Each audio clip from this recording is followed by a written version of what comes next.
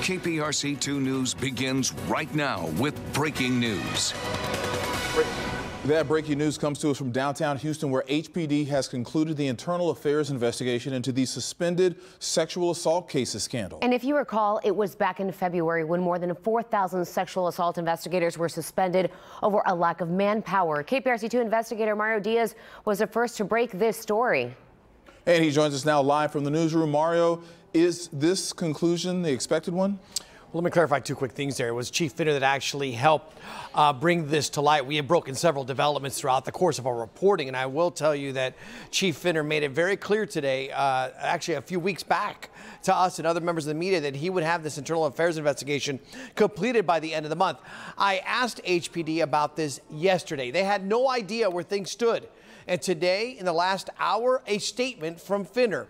The lengthy comments uh, makes it quite clear that the investigation by his internal affairs is officially over and that it will now go to the Independent Police Oversight Board as well as the Administration Disciplinary Committee. However, what is not mentioned in the statement is whether or not it has gone to or has been examined by Mayor John Whitmire's Independent Review Committee.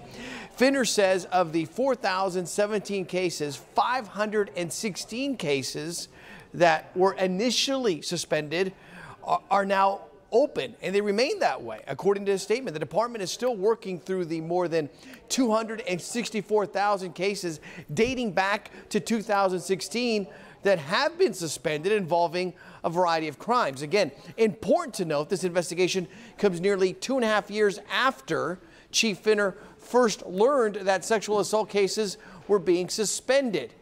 Finner claims he told department leadership at the time to stop using the code, but he never ordered a full-on investigation as he did back in February when Chief Finner knew the department's secret was about to be made public.